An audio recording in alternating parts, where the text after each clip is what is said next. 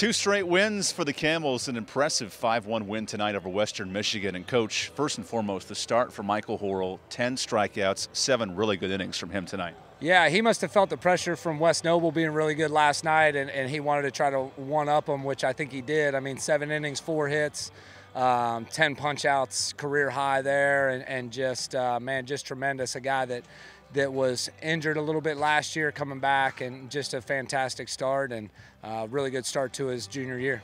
Another run in the first inning tonight, but then in the eighth inning, needed some offense. Kevin Barron a big double and finding ways to score runs with Kyle Mell stepping up too. Yeah, Kyle Mell, another two out, two RBI single for the second night in a row. CJ, uh, Christian Jones had some really good at bats. Kevin Barron with the big double there uh, to give us a chance to extend in the eighth. And, uh, you know, got out of the gates pretty good again. Um, had some runners on, had some opportunities early that we didn't cash in.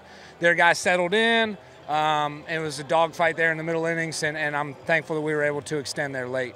What'd you think down the stretch with both Wyatt Tyson and Tyson Messer coming in, and then Tyson closing it out to help you win this game? Yeah, Wyatt Tyson, uh, you know, uncharacteristic of him to come in and walk those two guys, but Tyson Messer, you know, is a true teammate. Man comes in, uh, gets out of the jam right there, and then closes the door in the ninth. Just really electric stuff.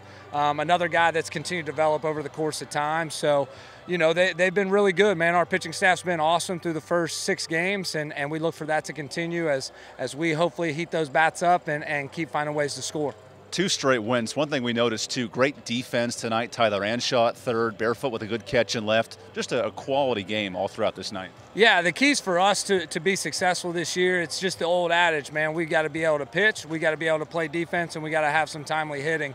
And right now, that's what we've had the last two games. And, so um, if we can keep playing defense and play catch at a high level and, our pitchers keep doing what they're capable of doing, we're going to be in some games and have a chance to win. I told you last week, we're going to win some games. You know, we just got to get going a little bit and our guys have responded.